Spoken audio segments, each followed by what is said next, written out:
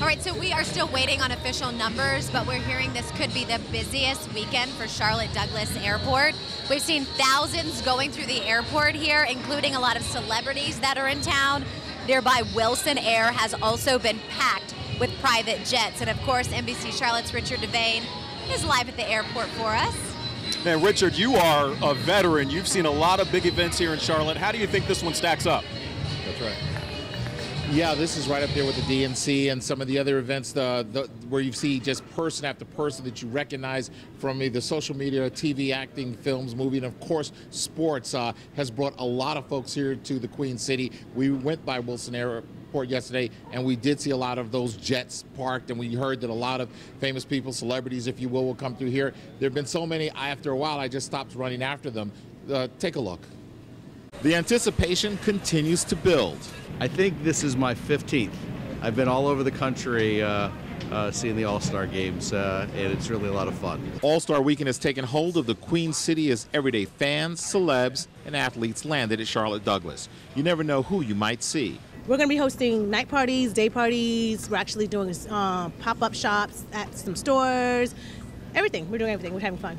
Half of the Double Dose twins. It's not just one of me. There's like another one of me. Hello. Wait, so there are two of you here? Yes, of course. The game attracts athletes from other sports, like NFL legend Dwight Freeney. Just enjoy the festivities, you know, kind of see what Charlotte has to offer. You know, I've been here a few times playing for Indianapolis and different teams, so I, I do understand how great a city this is. To Onyx rapper and movie star Fredro Starr. Oh man, this is the All Star Weekend, man. NBA All Star. Everybody wants to be here. You know what I'm saying? Basketball is the number one sport in America.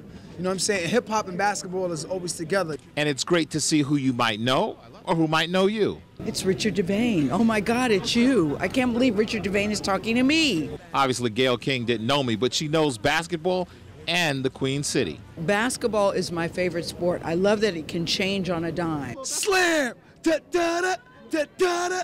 Let the boys be boys! Slam!